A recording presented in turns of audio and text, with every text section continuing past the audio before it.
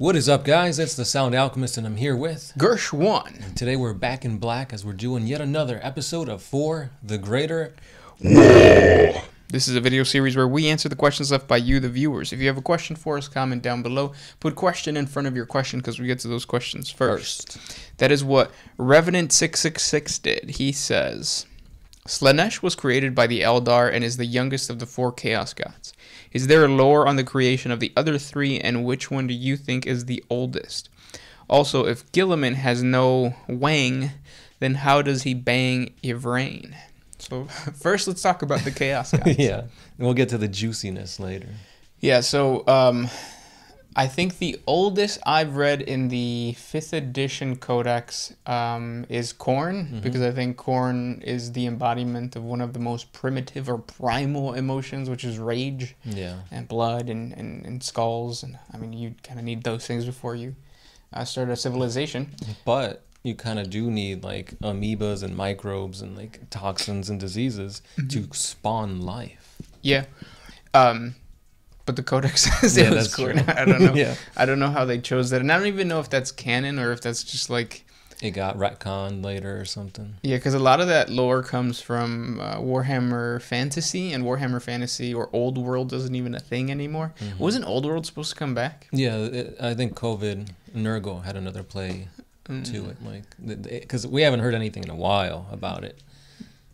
Um, from the very, like I, from my memory of reading that codex, I think his birth happened when like two brothers killed themselves or killed Each the, other. Yeah, or yeah. Well, Yeah. one of them survived, the other one's dead. But it was um, it's like um, Cain and Abel type Yeah, thing, that going back to like religion and stuff, but it was humans, right? uh, which is interesting. Because like obviously humanity shouldn't birth a god like that. Obviously there are other races billions of years before humans. Why would that create a god? Yeah, and and like I said, it's it's old world um, lore, Lore. that probably didn't uh, transfer over all that great Mm-hmm. uh, because the birth of uh, Nurgle is actually the the Black Plague, Yep, the bubonic plague. um, which again doesn't really add up. Yeah. When there are literal viruses that could kill an entire world's population, why this one? Yeah. Yeah. Um, and then Tzeentch, I don't think there's ever been an origin story that I have picked up on. Yeah, when it comes to Tzeentch, it's like very convoluted.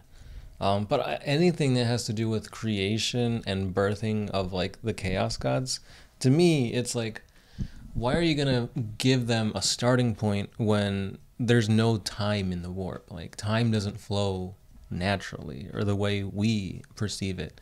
Um, because you could go into the warp and come out in the past, come out in the future, come out at the same time that you're going into the warp. Yeah. Like relativity and time are concepts that do not affect these beings. The chaos gods always existed, but then they have a birth. Like, how does that make sense? Yep. Um, I think it would be really cool to say that like some of the chaos gods ha- are were created during the war in heaven, but obviously that's there is no lore that says that. Right. To me, I think I would like it better if instead of the chaos gods being birthed by like the bubonic plague and that thing, it was like a notable like uh, bloodletter or bloodthirster. Like a demon was created because of these acts instead of the actual gods. Oh yeah, I get you. Yeah. So like, what's what's that one Nurgle dude, S- Scabeiathrax or whatever his name is? Uh-huh. Like maybe he was birthed because of the bubonic plague or something like that. yeah, that would be more badass. Mm-hmm. Um, it adds more fluff to the actual demon. Right. That's that's perfect for homebrewing too. If you're homebrewing your own like greater demon, try to connect him to an actual world world event that happens like in today's day and age. Yeah. Um, like we've got those two Slaaneshi uh, demons that came out for Age of Sigmar. Mm-hmm. They're essentially siblings. I think that's how they called it. So um, maybe Something. something. Yeah. Uh, those models look cool. I Yeah. really like them. Sucks that obviously it's for Age of Sigmar, so we don't know for sure if they're gonna get their own rules for 40k. Yeah, I mean, yeah, because we, don't have a demon codex yet, so Right. I mean, you could always play them as like a keeper of secrets, but again, you're missing out on like certain special rules and stuff. right, yeah. And then for your second or the second part of your question, uh, let's talk a little bit about the female orgasm. Um, so you you were saying how is um, Guilliman supposed to screw Yvraine? Um, there's this concept where it's like this, here like this. So two in the and then one in the, Mm-hmm. and that still works. Um, I I don't know too much about. I do know a lot about Eldar anatomy, um, but I don't know what it looks like under there. Um, but I'm guessing that's what he did, since he doesn't have a wang. Right. And actually, I don't think the Primarchs are the same as Space Marines, where like, I, I'm pretty sure they still have one. Yeah, because I mean, Space Marines don't need them, but Primarchs, I mean, they had families, they had lives. Yeah, even though like the purpose of your wang is to pee, right, and to procreate. But like, if the procreation thing is not gonna happen, You still gotta pee, you still gotta pee. Yeah. So unless you sweat it out. which the Space Marines are known to do, or like they process their food so well that they don't have to like Mhm. defecate. Um, so I don't, I don't really know. That's something that GW needs to like come out with an FAQ and be like, all right, Yeah. Space Marines and Primarchs did have wings, and this is how they did it. Mm-hmm. Kind of like in fifth grade where they gave us a pamphlet that just made everybody more confused than educated. That's true. But it, but you looked at the boobs and stuff, which was pretty cool. Um, another thing too, like within our bodies, we have certain organs that we don't use. One of them is like, what is it called? The little thing that dangles off of your. the appendix. yeah. Yeah, we have vestigial structures. And it gets smaller. So I'm guessing with Space Marines, they still have wings. They're just really, really small. until they break off. Exactly. Well, well, yeah. no, because the the ones that we have inside of our bodies are not not the wings inside of our bodies, but like, the, yeah, The vestigialness. yeah. Yeah. I don't know. Dolphins are cool. Whales too, because if you look at a whale's fin, it was like a hand, so you you still see like tiny fingers. Yep. Yeah, and they feel love, uh, dolphins and, and humans. There's a story of like some researcher who took uh, acid, I think it was, Oh. to uh, try to communicate with dolphins, and obviously gave the dolphins acid too, and then they went in a relationship, or they got into a relationship. I think they had they have a cartoon based on that, and I'm pretty sure I'm lying about most of that. so I just realized that I have there's an outlet, an electrical outlet down there, hmm and I have a fork sticking right out of it. It missed the actual outlet, but like this much. No, That's a fire hazard. that is. Um, the AdMech would approve. Yes. Next question. Uh, this one's kind of on the same topic. All Might says, "Do most 40k creatures reproduce only to continue their species, or do they also just do the do for fun, like humans and dolphins?" I'm pretty sure the Eldars, uh, the Eldars, the Eldar do it for fun. Oh, definitely. I mean, that's how they created Slaanesh. Yep. And then orcs do not. Humans obviously do. Um, you have the Tau. I'm guessing they do it for fun, right? They would have to. I mean, it's not just all work, work, work, but it is for the greater good. So then, in the in like the greater good society or in Tau society, the red light district would be what caste? Do you think? Would it be the water caste? Because they're like diplomacy, kind of like Yeah, that's what I was kind of thinking. convincing you to buy Safe Moon. Or maybe it's just all the cast together. yeah, that would be nice. hmm All like the reject ethereals that are having to dance for money. Yeah, and then you could even have like some of their auxiliaries there, like some Kroot, some Vespid. That is weird. Like when we finally discover that there's life on other planets, and like I wonder if we're gonna think that they're sexy. Yeah, probably. I mean, anything that comes out, people always find a way to make it sexy. Oh yeah, but I'm I'm not talking about like personifying a dog to make him look good. I mean like to actually actually look at a sentient being. Oh, like squids, right? Mhm. Or like yeah, like a squid. Let's say we find out that squids there's a species of squids that is as intelligent as like primitive humans, let's just say. hmm N- I would not find that squid attractive. And society, I'm guessing, would also not find that squid attractive.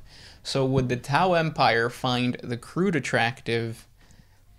Maybe Just not at first, but once they got to actually know the person and connect on a deep spiritual level, then But you can't do that on the strip club, right? no, there's not enough time.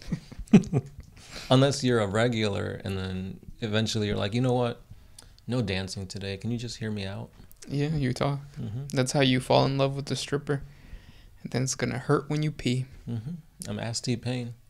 I'm in love with a stripper. Was that like his like breakout song? No, I think it was before that. He had a lot of songs back in the uh, middle school era. Next question. Uh, this one is by the Wap Awet. How do the Necrons re recover their losses? The build new Necrons? Oh, how do the Necrons recover their losses? Do they build new Necrons? That's a good question. So they have reserves depending on the size of the dynasty and the world. Yeah, the Tomb Tomb Planet, Tomb World. Yeah, so there's three classifications. The main the main one, the one that's going to have the most warriors is going to be is it Crone? I believe so. I don't even know. I don't remember the names. But like so the main one is obviously going to have way more uh, bodies. Mm-hmm. And when a Necron dies, his programming, I guess, or what is it called? Yeah, I guess you could call it that. Goes back into the tomb world, and then another Necron just comes back Mhm. um, with it. That's why they're like basically mummies. Right. The thing about them too is just by shooting or decapitating a Necron doesn't automatically mean that its programming gets transferred to another body. They do have living metal bodies. That necrodermis will heal, and depending on how bad the damage is, they could heal completely up. Yeah, and that that's what makes them dangerous. Like, let's say they do end up destroy because there's actually a story of the orcs versus the Necrons, and the and they were fighting on like a beach, and the beach ended up uh, like the high tide came, so all all of the Necron bodies were swept back into sea, and that's where the Tomb World was.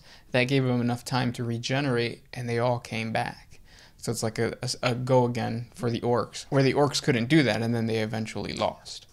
Um, but yeah, so that's how they regenerate fixing, and reserves. Right. The other thing too is you got to remember that within the tomb worlds, there are thousands of constructs, Canoptek constructs like wraiths, tomb spiders, scarabs that are also repairing and maintaining the tomb world operational. So when the, the Necrons do suffer like huge losses, it's never like they're out of the they're out of the fight. Right. Yeah. They are indeed a marvel of technology. Mm-hmm. This next question comes from Roman One An Hero. Uh, if you could eat an orc, what do you think it would taste like? A Portillo's burger? I mean, I guess it depends on the cook, right? Yeah. I've talked about this before. There's a thing called the squig pie.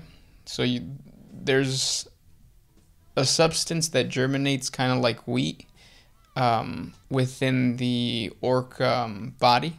So that creates your bread. Um, and then lettuce, because it's just the skin of the, the orc. And then the meat, because orcs are made of meat, or part of them is made of meat. And then you have like the tomato, onions, all that kind of stuff. Those are the organs, we could say. And then there's another bun, and that's your your burger, hmm and it tastes like Portillo's. Yeah. If you want sesame seeds, just get some orc teeth and grind them up. Yep, sprinkle it on. hmm It's all elementary, Watson. They should come up like if you guys are good at programming or whatever. um, you guys should uh, create a cryptocurrency called TIF, uh, and then we could only use it for trading uh, 40k or like miniatures and stuff like that. And since eBay is being like weird now because of their whole little new Yeah. um, They're like, payment stuff, yeah, it's going directly to like bank accounts or something. I don't know. we, the 40k community, can trade in TIF, create our own cryptocurrency. Other people buy in. We're early investors, so TIF value goes up, and we become rich and buy all the armies. Let's do it. hmm Forget Safe Moon. I'm not plugging that on purpose. I'll start saying something else. Next question. This one's by Dead Beats. Oh, you eat beats. Mm-hmm. Beats by Dre. If a Chaos God put all of their efforts into entering real space, what would be the outcome?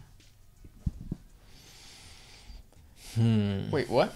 So if a Chaos God like put all his power into crossing the immaterium and entering real space, could they? And how would that affect real space? so far I've actually done a 40 facts video on two of the Chaos Gods coming into real space. The first is Khorne, and then the second one is I want to say Nurgle. Oh, I thought it was like Don Julio. Don't know. yeah. The cool thing is that there are brief tales of like the actual physical um, Chaos God Khorne getting up from his throne and attacking probably Slaanesh. Um, and he used his sword, and when he actually like struck down, it created a giant canyon within the Immaterium that still exists to this day. So it basically tore the fabric of the Immaterium. That's how powerful he was. hmm So I'm only guessing that if the f- physical embodiment of Khorne came out into real space, like he could probably create the Great Rift with just the swing of his his sword. hmm And you gotta take it into account because um, Khorne himself actually like backhanded. What was the name of that bloodthirster? Ka'Bandha? That's what I was thinking, but I'm not 100% sure. There's a bloodthirster, bloodthirster that is like so powerful. He went head, you know, head to head against Sanguinius, a Primarch. And just keep this in mind that, that they're somewhat on an equal playing field. But Khorne backhanded him, not even like given two thoughts about it, and it sent him flying for like a week in the warp, where cool. time doesn't exist. so that's why when you see the model, like his wings are all tore up because of that. Yeah. So just keep that in mind that like a single SWAT can create enough force propulsion to push across a giant monster for a week. Yeah. That's crazy. And then when it comes to Nurgle, I always think of like that planet that's basically a man in a fe- in the, In the fetal, fetal position. position. I feel like that's what Nurgle would look like if he came into real space. It'll be the size of an entire system, but it'll just be like a giant, like disgusting, naked man. Yeah. Next question. Uh, this one is by Bob J. What kind of weapons do orcs make when they're done fighting the Tyranids? Are they bioweapons? Yep. So what they do is obviously they just get like the claws and the fangs and whatnot and make uh, choppas from them. Mm-hmm. But the other thing is that they have toxin sacks that they take away from who has them? Gene stealers, I think, have them, right? Yeah, for the most part, I think they're just upgrades for like the big guys, so like Gene Stealers, Carnifexes, uh, Swarm Lords, that kind of thing. Yeah, so they take that stuff and then they use that as like ammo or fuel to power their weapons. Mhm. So they'll create a shooter, but instead of sh- shooting like bolts and stuff, it shoots out acid. So I guess it would be a flamer, really. Yeah. But yeah. And then we, there's been like awesome conversions of like orcs riding Tyranids or like somewhat, I wouldn't say domesticating them, but like farming them and using like their keratin as like shields and that kind of stuff. Yep. This next question comes from Oscar Dighton. What if Kanye was in 40K? Uh, he would definitely be like one of the annoying High Lords of Terra who like did something great, probably during the Age of Apostasy, uh, created like awesome content in terms of music, maybe I don't know, uh, and now he's just annoying. Now it's just like, oh, well, what's he gonna say? yeah. Even though there's definitely mental issues there. But it's 40k. Who doesn't have mental issues? Right. Uh, this one is by the big one. If you had all the powers of Superman, would you use your X-ray vision to spy on your baby mama and make sure she wasn't messing around with your friends? Now, if you have X-ray vision, like there's way better things to look at than your baby mama. Mm-hmm. Like, go to a freaking poker competition, like easy. Easy. Not just that, but you have all the powers of Superman. I think X-ray vision, for me at least, would kind of be on the lower end. I'd mostly be like flying and like turning back time by flying around the world. Apparently. yeah, and I would invest into Safe Moon. that that is cool. hmm But just imagine how scary that would be to know there is a person in this world that is basically invulnerable. Like Yeah, that's too much power. And there's no kryptonite on this world, so Mhm. Maybe there there'll be a crypt tomorrow after, you know, Superman destroys all humans. Right, The yeah. world is the biggest crypt. but it'll be safe on the moon. Safe, moon. Boom, boom, boom. And then last question. Uh, this one is by Brian B. There has been mentions of a deep warp. What do you believe is in it? Uh, Bridget B. Mm-hmm. I I I was under the assumption that it is um, You said the ash, ash wastes. Yeah. yeah. Which is just like where fa- uh, fairies, uh, furies are. Um, Vampires, the narwhals, uh, Psychneuein, Yeah. um, dogs, chaos dogs. What are those called? oh yeah, I forget what they're called. But yeah, chaos dogs. yeah. Um, basically, all of the warp entities that are just entities, they're not powerful enough to be like gods, Mm-hmm. um, but they do have some type of presence within the immaterial. Yeah. Which is crazy to think that there are still places in the warp that the chaos gods haven't touched or claim as their own. Yep. Because the warp is infinite, but not really. Mm-hmm. And chaos gods are supposed to be omniscient, but not really. Just like our real God. um, but yeah. Those were the questions for today. If you guys have more questions for us, please comment down below. Put question in front of your question. And uh, I hope you guys enjoyed. Yeah. As always, keep those questions coming. This has been the Sound Alchemist, Gersh won. and we are out.